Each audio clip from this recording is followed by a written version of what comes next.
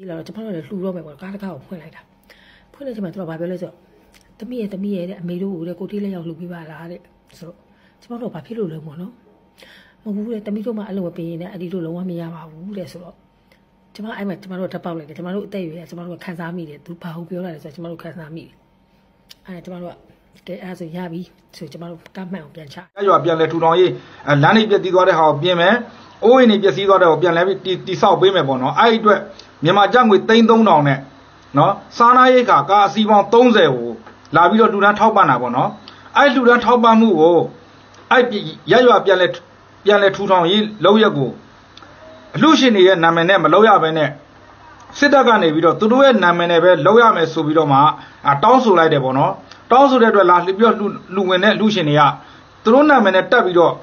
အလူဝင်ရမှာဆိုလို့ရှိရင်သူတို့နာမည်နဲ့တက်ပြီးတော့ရရတို့ပြန်လဲထူထောင်ရမှာဆိုရင်မလူတော်ဘူးဆိုပြီးတော့ပတ်စံလဲပြန်ယူသွားတယ်သူတို့တည်လာတဲ့ကားအစီပေါင်း30စားနိုင်ခါကားအစီပေါင်း30အပြည့်ကိုလဲပြန်ပြီးတော့တည်သွားခဲ့တယ်ပေါ့နော်တင်ကြီးမတိုက်ပွဲ3လလေရွှေတဲ့ကြံတယ်လာရှုတလတိုက်ပွဲရလေဝိုင်းတော့ပေါင်လဲရတယ်ရွှေတယ်မပြောမဲ့အဲ့ဒါဟိချင်းကခုဘာလုပ်နေကြလဲဟုတ်နဲ့ ကျွန်မတောင်းစားမှုခွတ်ဆုပ်ရှာမတွေ့ဘူးဖြစ်နေအခုဆိုရင်ကျွန်တော်တို့တက်မတော်ကဆောင်ရွက်မှုတွေကိုအမေရိကန်ကပြည်သူတွေတောင်မှဗာဖြစ်တယ်အားကြနေပြီ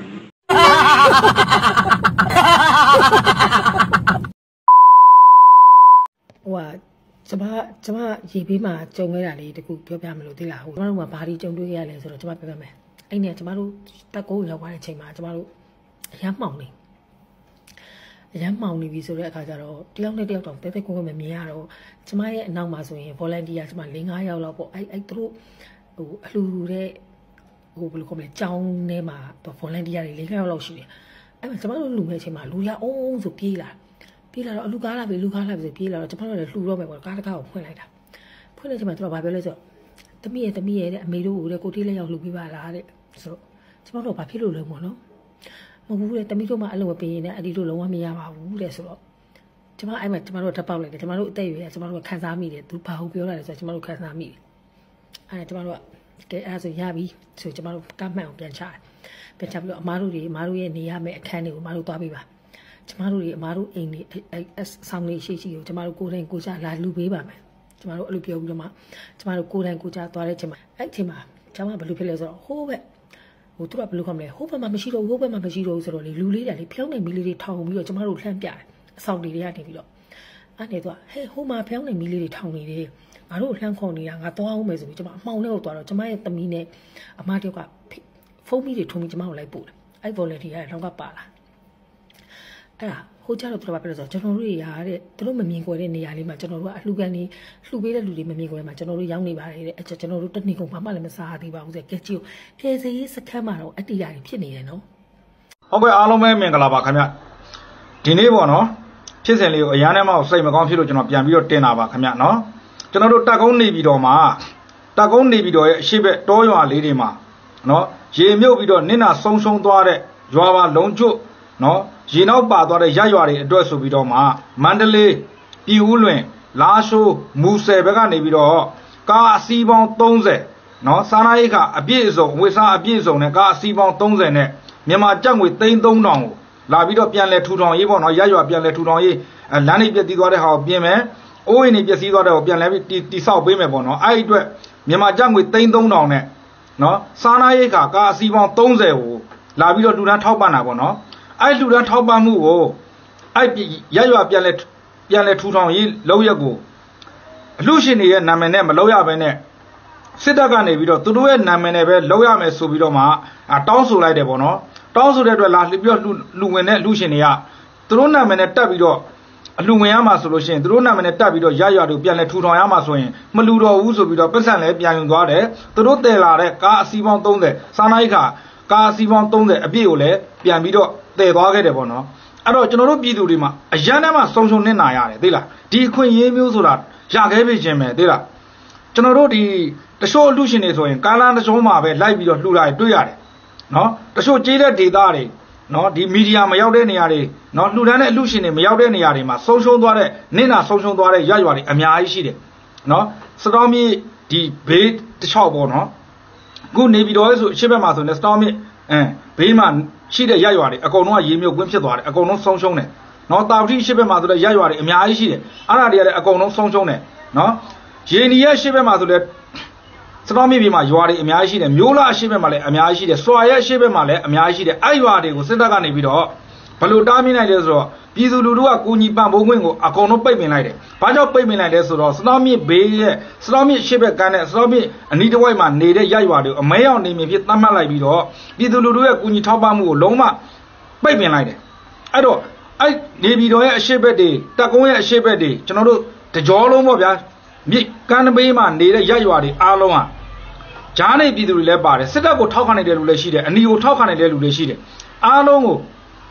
အမရောက်နေမြေမှာနေတဲ့လူဖြစ်တဲ့အတွက်အကန့်ကြီးတစ်ခုလိုထားပြီးတော့ကုညီပံ့ပိုးခွင့်ကိုပိတ်ပင်လိုက်တာတော့ဒါစစ်တပ်အနေနဲ့လုံးဝမတရားဘူးလို့ကျွန်တော်အနေနဲ့ရှုံးချတယ်ပြစ်တင်တယ်နော်ဒီချိန်မှာပြည်သူလူထုအားလုံးစိမ့်စိမ့်နီနီဝါဝါပြပြဒုက္ခရောက်နေတဲ့ချိန်မှာခမရကအစိုးရတရားဖြစ်နေတဲ့အတွက်ငါတို့ပြည်သူတွေပေါ်ငါတို့ဘလို့ကုညီဆောင်ရွက်ပေးရမလဲဆိုတော့စိတ်နဲ့ပဲခမရကြည့်ရမယ်အစိမ့်မလို့အနီမလို့အဝါမလို့အပြာမလို့ဆိုတာခမရမှမရှိရဘူးတကယ်ပြည်သူလူထုကိုမေတ္တာတရားနဲ့အုပ်ချုပ်တဲ့အစိုးရဆိုရင်ပြည်သူလူထုပေါ်မှာမေတ္တာထားရမယ် နော်သူတော်သူကောင်းကောင်းမကောင်းကောင်းနော်ကိုပြုတ်တဲ့ကံကိုပဲအကျိုးပေးမှာခမည်းဘက်ကစေတနာမှန်ခဲ့ရင်ခမည်းကိုပြန်ပြီးပြည်သူလူထုကရှစ်မှာထောက်ခံမှာလေးစားသွားမှာခမည်းဒီခွင့်ရေးကိုအဆုံးရှုံးခံပြီးကိုလူကိုမလူနဲ့ဒီလူကိုတားမြင်နဲ့ဒီလူကိုပိတ်မြင်နဲ့ပြည်သူလူထုကိုခမည်းတတ်တတ်မဲ့ဒုက္ခရအောင်ရည်ရွယ်ချက်ရှိရှိနဲ့ခမည်းကိုလှုပ်တာဗိုလ်ချုပ်စုံမင်းထုံးပြောလိုက်တဲ့စကားတစ်လုံးဂရုတိမှတ်မိသေးတယ်မင်းတို့ပြည်သူလူထုတွေ ငါတို့ခလုတ်တစ်ချက်နှိပ်လိုက်ရင်ဘာဖြစ်သွားမလဲဆိုတာခမ ्या ရေတကားတွေခလုတ်တစ်ချက်နှိပ်ပြီးတော့ခမ ्या ပြည်သူလူထုဒုက္ခပေးပလိုက်တာအသက်ငယ်လေးတွေရောအသက်ကြီးတွေရောအိုးအိမ်တွေမှာအကုန်လုံးဆုံးရှုံးပျက်စီးပြီးတော့ပြည်သူလူထုဒုက္ခရောက်သွားမှငါတို့စစ်တပ်ကိုမတော်လှန်နိုင်မှာမဆန့်ကျင်နိုင်မှာဆိုပြီးခင်ဗျားတို့ရည်ရွယ်ချက်ကြီးကြီးနဲ့လောက်တာဒါပေမဲ့ပြည်ပအသီးသီးနိုင်ငံအသီးသီးကနေခင်ဗျားတို့လူတန်းထောက်ပံ့တဲ့ဟာကိုလည်းပိတ်ပင်တယ်အခုကိုမြန်မာနိုင်ငံပြည်တွင်းတွေကလူတွေလာတဲ့ဒီကိုထပ်ပိုင်းဒေသတွေကနေလာပြီးတော့ဒီမှာရေဘေးတင်ဒုက္ခရောက်တဲ့ရရွာတွေပြန်လဲထူထောင်ဖို့အတွက်မြန်မာကျပ်ငွေ3300နဲ့ပစ္စည်း စားနပ်ရိက္ခာကာအစီပေါင်း30ကိုလည်းသူတို့ခင်ဗျားတို့ရဲ့နာမည်နဲ့ပဲလောက်ရမယ်ဆိုပြီးတော့ခင်ဗျားတို့နာမည်စင်းတက်လိုက်တယ်အဲ့တော့အလူရှင်တွေကအများသူငါပူပေါင်းထားတဲ့ပစ္စည်းတွေလေဗျာတယောက်တည်းလှူထားတဲ့ကိစ္စမဟုတ်ဘူးသိလားလူမျိုးကသာဘောင်းစုံကလည်းလှူထားတဲ့ဟာနော်ဘယ်ရရွာတော့ငါတို့မန္တလေးတို့ပြည်ဦးလင်းတို့လာရှိုးတို့မူဆယ်တို့ကနေပြီးတော့ပြန်လဲကိုကြီးထောက်ပံ့နေပါတယ်ဆိုတဲ့ဟာကိုသူတို့လည်းသူတို့နာမည်လိုချင်ပါဗောခင်ဗျားတို့ကဘာမှ မလူလဲမလူဘူးလှုပ်လဲမလှုပ်ပေးပဲနဲ့စစ်တပ်ကနေပြီးတော့လှုပ်ပေးပါတယ်ဆိုတဲ့အမီနာမတက်ပြီးမှအဲ့အလူငွေလက်ခံရမယ်ဆိုပြီးတော့အခုအဲ့ဘက်ကနေကန်တွေကလူတွေဆိုလုံးလုံးကိုဒေါသတပုံထားနေတာခင်ဗျားတို့ကိုကြောက်လို့သာမပြောရတာပဲရှိတယ်နော်ကြောက်လို့သာမတော်လှန်ရတာပဲရှိတယ်ဒါပြည်သူကနေပြည်သူထံပြန်ပြီးလှူတဲ့ကိစ္စကိုခင်ဗျားတို့ကခင်ဗျားတို့နာမည်တက်ပြီးတော့ခင်ဗျားတို့နာမည်နဲ့ပဲဒီလမ်းမဆက်သွယ်ရေးပြန်ပြီးတော့လုပ်ရမယ်ရရွာအိုးအိမ်တွေကိုခင်ဗျားတို့စစ်တပ်နာမည်နဲ့ပဲလုပ်ရမယ်ခင်ဗျားတို့စော့ပြတဲ့ပြားမပေးပဲခင်ဗျားတို့နာမည်ဘယ်လိုတက်လို့ရမှာတော့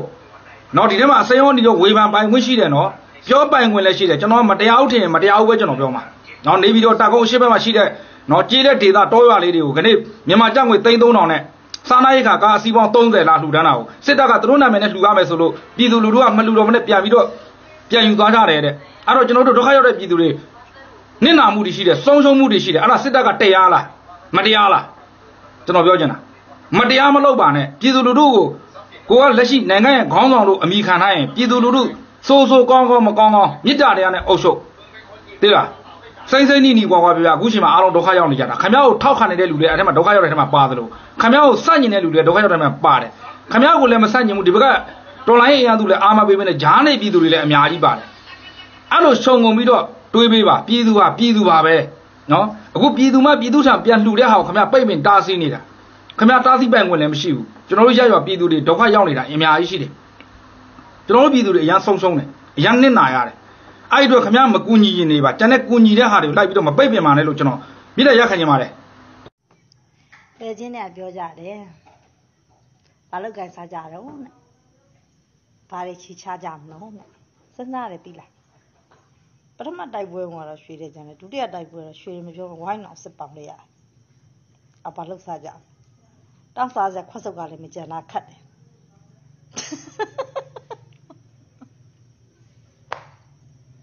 နော်တောက်စားစခွတ်စုပ်ကလည်းဘယ်တော့တော့ကောမှမသိဘူး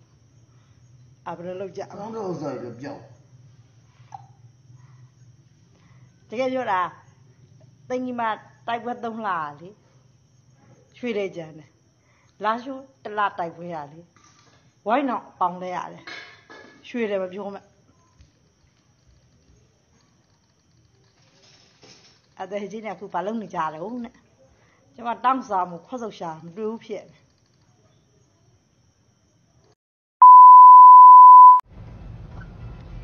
ဒါမြစ်သားမျိုးကအပြန်သို့မဟုတ်မြစ်သားမျိုးကိုသွားတဲ့အလူရှင်တွေကိုအကြံပြုတာပါမိမိတို့ရဲ့တရားတရားနဲ့လူမယ်ဆိုလို့ရှိရင်လေကောင်းကောင်းမွန်မွန်ပေါ့နော်ကျွန်တော်ဒီလိုဒီလိုမျိုးတွေကျွန်တော်ကုညီရေးသွားနေတဲ့ကားတွေဆိုလို့ရှိရင်လည်းအများကြီးခက်ခဲဖြစ်ပါတယ်တောင်မြုံပွဲလိုမျိုး အပျော်လောက်ကြတဲ့နေရာမျိုးကျွန်တော်တို့လာကြတာမဟုတ်ပါဘူးတောင်မြုံပွဲလိုမျိုးအပျော်လောက်ကြတဲ့နေရာတွေသွားနေကြလဲမှာဒီလိုမျိုးဆိုတမဲ့ဒါဒါမြစ်သားတစ်ကြောလုံးဒီလိုဖြစ်နေတာပါ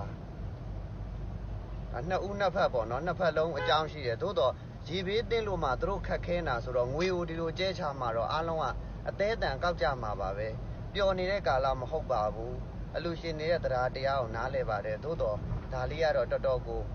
ဆင်ကျင်တဲ့တယ် ဒီတိုင်းဆိုရင်အစ်စ်မပြေပါဘူးမြစ်သားဒါမြို့ထဲကနေထွက်လာတာရောလောလောဆယ်ဒါရေဝန်းကြော်လာပြီဒီဘက်ထိတစ်လျှောက်လုံးဒီတိုင်းကြီးပါကားအစီဒန့်နေဖြစ်နိုင်တယ်ကားလည်းတိုက်နိုင်တယ်ဟိုရိုင်းရိုင်းပြောရရင်ခမရတို့ကျဲလိုက်တဲ့ပတ်စံတစ်ရွက်နှစ်ရွက်ရမှာအခုရေဘေးတင်းလို့ကုန်းမော်ရောက်နေတဲ့လူတွေကိုခမရတို့ကကားတိုက်တအောင်လုပ်တယ်လို့ဖြစ်နေတယ်ဒါသူတို့ခက်ခဲနေတော့ခါကျငွေကျဲချမှာတော့ကောက်ကြမှာပဲဒါလေးကတော့တော်တော်လေးတော့ စိုးလာပြီပေါ့နော်ဟိုတနေ့ကတော့မနေ့ကမနေ့ကမြစ်သားကနေပြန်လာတော့လမ်းမှာအဲရှေ့ကပစ္စည်းတွေကိုကျဲချသွားတာတွေတွေ့ရတယ်အာဒီမှာစကားနောက်နေ့တွေကြာရင်ဒီထက်ဆိုးလာမယ်ဆိုခုမှတရက်ရှိသေးတယ်ဒီနေ့လမ်းမှာအဲ့လောက်ကြီးကိုအခြေအနေဆိုးနေပါပြီကုညီကယ်ဆယ်ရေးမှာကုညီကယ်ဆယ်ရေးမှာကုညီတဲ့ဥစ္စာတွေကနေပြီးတော့မှဒုက္ခပေးတာမဖြစ်အောင်လို့အကြံပြုတာပါ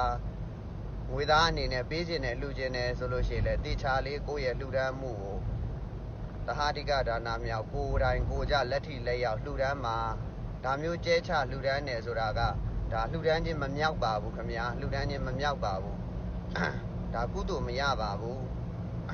ဒါလေးကိုတတိချက်ပြီးတော့တရားမှာပညာနဲ့ကုသိုလ်ယူကြပါလို့မေတ္တာရက်ခံတာပါဒါတလျှောက်လုံးဟိုဘက်မှာအဲ့လိုတွေဖြစ်ခဲ့ပါတယ် အာမင်္ဂလာပါဒီနေ့မြန်မာလေစိတ်ကအတွေ့အကြုံလေးကို sharing လုပ်ချင်တော့เนาะမြန်မာလေစိတ်ကိုဒီနေ့အာလွန်ခဲ့တဲ့တစ်ပတ်လောက်ကလေးကနေစပြီးတော့ကျမရဲ့ချွေမဆေးပြသွားဖို့ပေါ့เนาะဆေးပြသွားဖို့ထိုင်းကိုဆေးကုခံသွားဖို့စာအုပ်ဟိုပါပေါ့လင်းလက်မဖြတ်ထားတယ်လင်းလက်မဖြတ်ထားတယ်ဒါပေမဲ့လိုက်သွားဖို့ရတော့သူ့အမေမှလည်းအဆင်မပြေဘူးเนาะအနီးနားမှာလည်းလူကြီးတွေမှာ လူကြီးတွေမှာတောနေရလူတွေဆိုခါကြပတ်ဖို့လုပ်ပြီးတာဘယ်လိုမှအဆင်လည်းမရှိဘူးမရှိရတဲ့အတွက် passport ရှိထားတဲ့သူ့ရဲ့တငယ်ချင်းနှစ်ယောက်ကိုအဖော်ခေါ်တယ်အဖော်ခေါ်ပြီးတော့မှတွားဖို့ရအောင်စီစဉ်ထားတယ်သူတို့ရဲ့သတ်မှတ်ချက်ထဲမှာ air ticket အသွားအပြန် round trip ပါရမယ်ရှိုးမန်းဒီပြည့်ပြည့်စုံစုံများလေကောင်းလေဟောနောက်ပြီးတော့ hotel booking ပါရမယ်ဆေးသွားပြတယ်ဆိုတဲ့အထောက်ထားပါရမယ်လို့သတ်မှတ်ထားတယ် အဲ့ဒီမှာဆေးသွားပြတဲ့အထောက်ထားဟုတ်ပြီမြန်မာပြည်ဘက်ကနေပြီးတော့ဆရာဝန်ကဆေးသွားပြရပြဖို့လိုအပ်တယ်ဆိုတဲ့စာပါတယ်လေရင်စီးခွင့်ကိုဝင်ရှစ်လကျော်နော်ကိုဝင်ရှစ်လကျော်လေရင်စီးခွင့်ပါတယ်နောက်ပြီးတော့အာထိုင်းဟိုပါပေါ့နော်ထိုင်း woman မြို့သမီးစေယုံပေါ့ woman healthy center မှာအမျိုးသမီးဆရာဝန်တွေရောနှလုံးထုခုဆရာဝန်တွေရောပြဖို့ရ appointment စေယုံတက်ခွင့်16ရက်နေ့မှာစေယုံတက်ရတက် ဖို့ရပါတယ်ဆိုတဲ့ဟာလဲပါတယ်ရှိုးမန်းနီဗတ်9000ပါတယ်အဖော်နှစ်ယောက်ခေါ်သွားတာမိန်းကလေးအဖော်နှစ်ယောက်မိန်းကလေးဖော်နှစ်ယောက်ခေါ်သွားတာမှာဗတ်9000ပါတယ်ဒေါ်လာ900ပါတယ်ဗီဇာကတ်ထဲမှာပတ်စံအပြည့်ပါတယ်အဲ့ဒီဥစ္စာကိုလေးစိတ်ကထွက်မခံဘူးကိုဝင်ဆောင်ရှစ်လကျော်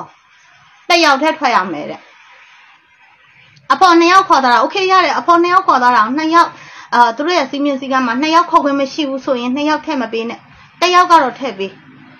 တယောက်ကတော့ထည့်ပေးပြန်ခေါ်လာမယ်အမခံချက်နဲ့ပြန်ခေါ်လာမယ် visit သွားတာချိုရင်းချက်တစ်ခုမှမရှိဘူးလိုအပ်ချက်တစ်ခုမှမရှိဘူး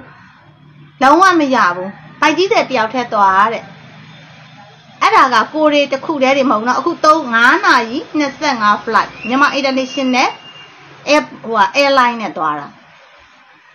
အကိုတယောက်တည်းမဟုတ်ဘူးတခြားလူတွေကောစေးသွားပြတဲ့လူတွေ PV passport ကင်ထားတဲ့သူတွေမှန်သမျှအကုန်ပြန်ခိုင်းတယ်အကုန်ပြန်ခိုင်းတယ်အဲ့ဒီတော့တို့နိုင်ငံရဲ့ law ကဘာလဲသူတို့ရဲ့ဟိုက်လို့လက်တဆုပ်လေးထဲမှာပဲသူတို့လှုပ်ချင်တယ်လို့လုပ်နေတဲ့ဥပဒေရှိတာလားတခုအရန်အရန် heavy ဖြစ်လွန်အားကြီးတယ် ကျမကြီးမကောင်းနေတဲ့လူတယောက်ကိုတောင်မှစေသွားကူဖို့တယောက်တည်းအသေးသွားခံသူများစီမှာဆိုတဲ့အစိုးရရေဘေးနဲ့မအေးဘေးနေပြည်တော်တဝိုက်မှာမကြုံစဖူးရေကြီးခြင်းနဲ့တာမန်အိမ်တစ်လုံးရဲ့အမြင့်ဟာပေ20နီးပါ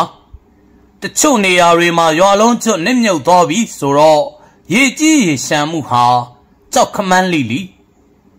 မဲဆိုင်မှာထိုင်းစစ်တပ်ကရေဘေးတင်ပြည်သူတွေကိုရဟတ်ရင်တွေနဲ့စားနပ်ရိက္ခာတွေဝေပေးနေတဲ့ဒီသတင်းကိုကြားတော့နေပြည်တော်စစ်ရုံးချုပ်အတွင်းမှာစစ်ဗိုလ်ချုပ်ကြီးတွေရေးပေါ်စီဝေးလုပ်ပြီးငါတို့ဗမာတပ်မတော်ကြီးကလည်းအားကြမခံပြည်သူတွေကိုကယ်ဆယ်ဖို့အခုချက်ချင်းလုပ်ကြဆိုပြီးဆုံးဖြတ်ချက်ချလိုက်တယ်။ အဲ့ဒီမှာအဓိကပြဿနာကဘာဖြစ်လဲဆိုရင်စစ်ဗိုလ်ချုပ်တွေတော်တော်များများကရေမကူးရဘူးဆိုပြီးညှဉ်းဆန်ကြသူနဲ့တယောက်ကိုတယောက်ထိုးချသူတွေနဲ့လူရင်းကိုမရောက်တော့ဘူးဒီကြားတဲ့ရေကြီးတာကိုတွားကြည့်ရင်တစ်ပင်ထိတ်ရောက်နေတဲ့မြောက်လင်မယားကလိုက်လွင့်ပြီးဘိုးကြီးတို့ဘိုးလေးတို့လာနေပြီလို့စကားကကြုံထားလိုက်သည်ဒီတော့ရှင်လဲလျှောက်တာပြားလဲဆွဲတာဖြစ်အောင်ဆိုပြီး စစ်ရုံနောက်ဖက်ကဂျိုင်နေပြေးပြီးကြိုတန်ရင်ရေဘေးတင်ပြည်သူ12348ယောက်ကိုအရေးပေါ်ကယ်ဆယ်ပေးလိုက်ရတယ်ဒီလိုတတ်မတော်သားတွေရဲ့ကိုကျိုးစွန့်အနစ်နာခံမှုတွေကိုပြည်သူတွေကမမြင်ကြပဲကြေးရွာတွေကိုကူညီကယ်ဆယ်ပေးကြပါအောင်လို့ထအော်ကြပြန်တော့ဗမာတပ်မတော်သားတွေမှာမနေတာချီဘေးလို့ရာကုန်းပေါ်မှတင်းခုတ်ထဲရှိနဗျာကြီးပြည့်ဆွဲရင် ကမန်ကရန်ဓာတ်ပုံရ၍ Facebook ပေါ်အမြန်တင်ရပြန်သည်ဒါနဲ့လေအဆင်မပြေခေါင်းဆောင်ပိုင်းတွေဘာလို့နေကြတော့ဆိုပြီးမေကွန်းထုတ်တန်တွေတညံညံပေါ်ထွက်လာပြန်သည်တို့ပေမဲ့ဒီတစ်ခါမေကွန်းထုတ်သူကမန်းလေးရေဘေးတော်ကသူရဲကောင်းကိုတော်ကြီးစေကိန်နမဟုတ်တလို့ကစုံရွက်မင်းသားလေးဖတော့ကျိုးလည်းမဟုတ်ဗမာတက်မတော်ကြီးတက်ထောက်ခံသူ ဘောမအများစုသာဖြစ်လေသည်ဒီကြားတဲ့ထိုင်ဖုံကြီးတွေရဲ့မနေတတ်မထိုင်တတ်သင်္ကန်းကြီးတလွားလွားနဲ့ပုံတွေကလည်းလိုက်မော်မှာနတ်ဘာလို့နေကြတာလဲဆိုတော့ရေဖေးကြောင့်ပြည်သူတွေဒုက္ခရောက်နေလို့ကျောင်းတွေမှာရှိသမျှလူပွဲပစ္စည်းတွေကို အကုန်ထုတ်လှူတဲ့သင်္ကန်းတွေယုံပြီးဖုန်ကြီးတွေကိုယ်တိုင်ပစ္စည်းတွေကိုကားပေါ်မှာတင်ချလုပ်ကြနဲ့ဒီမြင်ကွင်းတွေကိုမြင်တော့ ရေဘေးကိစ္စအတွက်ရေးပေါ်ဆက်သွယ်နိုင်ရန် iPhone 60 Pro Max ကိုမရရအောင်ဝယ်နေတဲ့မြန်မာဖုန်ကြီးကတောင်းဝီနီးနဲ့ညီအောင်မနေကြဘူးအကုသိုလ်တွေများလိုက်တာဟူ၍ညီးသွားရသည့်အထိရေကြီးရေရှမ်းပေးကြောင့်အတိဒုက္ခရောက်နေကြသည့်သတင်းများကလည်းလူမှုကွန်ရက်မှာအဆက်မပြတ်တက်လာနေသည်ဒီအခြေအနေကိုလူမှုဝန်ထမ်းကယ်ဆယ်ရေးနှင့်ပြန်လည်နေရာချထားရေးဝန်ကြီးဌာန လူကယ်ပြန်အနေနဲ့ကယ်ဆယ်ရေးစီစဉ်များကိုမြည်တို့မြည်ပုံစီစဉ်များချမှတ်၍ဆောင်ရွက်နေသည်ကိုသိရှိလိုသောမီဒီယာများဝင်ချီအိမ်ရှိသို့စုယုံရောက်ရှိလာကြသည်ဝင်ချီမှလည်းမျက်နာတော်တော်မကောင်းအကြောင်းမူကားသူ့မြင်းမာလေးရေကူးကန်နဲ့မတော်တဆပြုတ်ကြပြီးအဆုတ်ထဲရေဝင်နေသဖြင့်ပရော်ဖက်ဆာဒေါက်တာကြီးများကိုပင့်ဖိတ်၍စေကုနေရခြင်းကြောင့်ပင် မီဒီယာများ၏အမေစကားကိုဝင်ကြီးမှခိုင်မာပြတ်သားတိကျသောစကားတစ်ခွန်းဖြင့်အဖြေပေးလိုက်သည်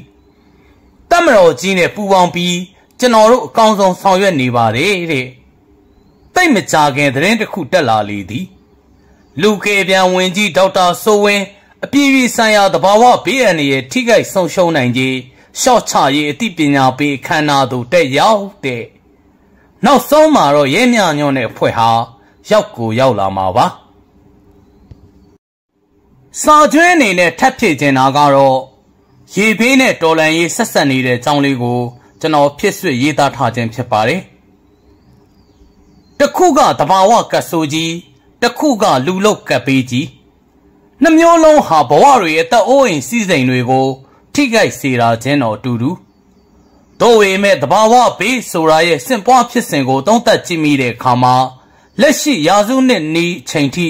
ပျက်စီးယိုယွင်းခဲ့တဲ့စနစ်ကို အခြေခံတာပါပဲဒါဟာလိုရာဆွဲပြီးရေးသားနေတာမျိုးမဟုတ်ပါဘူး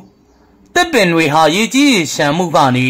ကာကွယ်ပေးတဲ့အပြင်မြေသားတွေကိုပါမြဲမြံကြစ်လက်စေတာကိုကလေးကစလူကြီးအစုံအလုံးသိကြပါတယ်နောက်ပြီးမြေပြိုမှုဖြစ်စဉ်တွေအများစုဟာလည်းကြောက်စိမ့်လောက်ွက်တွေရွှေတူးဖော်ရေးလောက်ွက်တွေစီမှာ ပိုပြီးအဖြစ်များကြပါတယ်ဥပမာဖကန့်ဝေခါနဲ့ရမဲတင်းတပြေပင်ဘာကြောင့်လဲဆိုရင်တူးဖော်စွန့်ထုတ်ထားတဲ့မြေငါးတွေဟာဘာကုန်မှပြုတ်ပြင်ပြောင်းလဲခြင်းမရှိဘဲထားတဲ့အခါယခုလိုမုံများတဲ့အချိန်မှာမြေပြိုဖို့တရားရာခိုင်နှုန်းပါပဲအဲ့ဒီမြေတွေမှာသာနှစ်ရှည်ပင်တွေကိုစနစ်တကျစိုက်ပျိုးထားခဲ့မယ်ဆိုရင်တဘာဝဘေးကိုတကယ်တမ်းကြုံလာချိန်မှာ အတိုင်းအတာတစ်ခုအထိရှော့ချပေးနိုင်မှာပါဒါနဲ့တော်လန်ရေးဘာဆိုင်လို့လဲလို့မေးလာခဲ့ရင်ဆိုင်ပါတယ်အလုံးစုံသက်ဆိုင်ပါတယ်ဒီလိုအခြေအနေမျိုးကိုကင်တွယ်ထိမ့်သိမ့်မှုပြောင်းလဲပြုပြင်နိုင်မှုဆိုတာအုတ်ချုပ်သူလူရန်စားတွေရဲ့စ조사အားထုတ်မှုမဖြစ်မနေလိုအပ်ပါတယ်ရှေ့ဆောင်နွားလာကောင်းကောင်းသွားမှနောက်နွားတတိုက်ဖြောင်းဖြောင်းလိုက်ဤတဲ့ဘယ်နွားတွေကများ ပြည်သူရှေ့ကဖြောင်းဖြောင်းသွားခဲ့ပါသလဲမိမိနဲ့မိသားစုဆွေတော်မျိုးတော်ပေါင်ကောင်းစားရေးကိုသာဥတီရှေ့ရှုခဲ့တဲ့စစ်အာဏာရှင်တွေ၎င်းတို့ရဲ့လက်ဝေခံခရိုနီတွေဒီလိုလူနည်းစုကြီးပွားချမ်းသာရေးထက်တိုင်းပြည်ရဲ့ဂေဟစနစ်ကောင်းမွန်မြတ်တာနေဖို့ကအရေးမပါခဲ့ပါဘူးဒီနိုင်ငံမှာထိရောက်တဲ့ကြိုတင်ကာကွယ်မှုဘယ်နေရာဘယ်ဒေသမှာမှမရှိပါဘူး ကို့နေရာလေးကွက်ပြီးမဆိုတာနဲ့ပဲမိုးကိုမလျော်ဘူးထင်သူတွေဟာနာဂစ်စီကနေလေဘာသင်ငန်းစာမှမယူခဲ့ပါဘူးတကယ်ကိုရေကန်မြေကန်ကောင်းတဲ့ပရဟိတသမားလူနည်းစုကလွဲရင်နွားတွေဟာကပ်ပေးတွေစီကနေအမျက်ထုတ်လေရှိကြတယ်ဒီတော့တော်လန်ရင်းနဲ့ရေဘေးဟာတက်ရိုက်သက်ဆိုင်လာခဲ့ပါပြီဒီအာနာယူတွေရဲ့တပိုတဲ့ကြည်တဲ့နွားလိုစိတ်ဓာတ်တွေကို အမြင့်ပြတ်တုတ်တင်နိုင်မှသာလင် ဒီလိုစနစ်ဆိုးတွေကို အပီးတိုင်ဖယ်ရှားပြစ်နိုင်မှသာလင်ဝေး